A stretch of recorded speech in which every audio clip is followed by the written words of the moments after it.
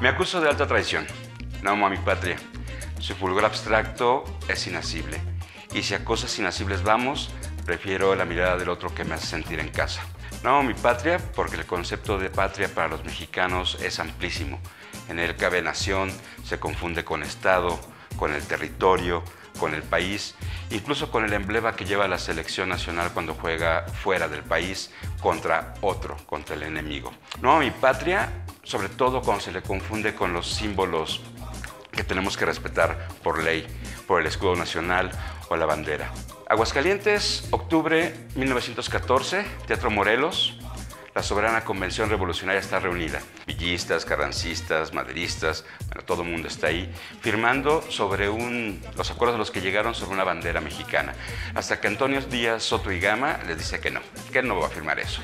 Les cortan cartucho, está molestando a la bandera nacional.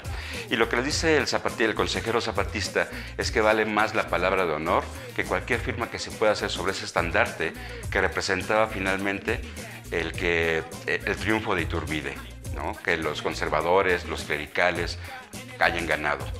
Habría que repensar en esos tiempos qué significa decir, sobre todo ahorita que estamos en el mes patrio, qué significa decir que amamos a la patria, al proyecto de nación que nos ofrece que va a cambiar, al primero los pobres, a los fifís, ¿a quién?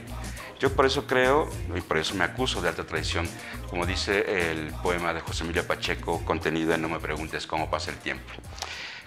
No amo a mi patria, su fulgor abstracto es inasible, pero, aunque suene mal, daría la vida por diez lugares suyos, cierta gente, puertos, bosques, desiertos, fortalezas, una ciudad deshecha, gris, monstruosa, varias figuras de su historia, montañas y tres o cuatro ríos.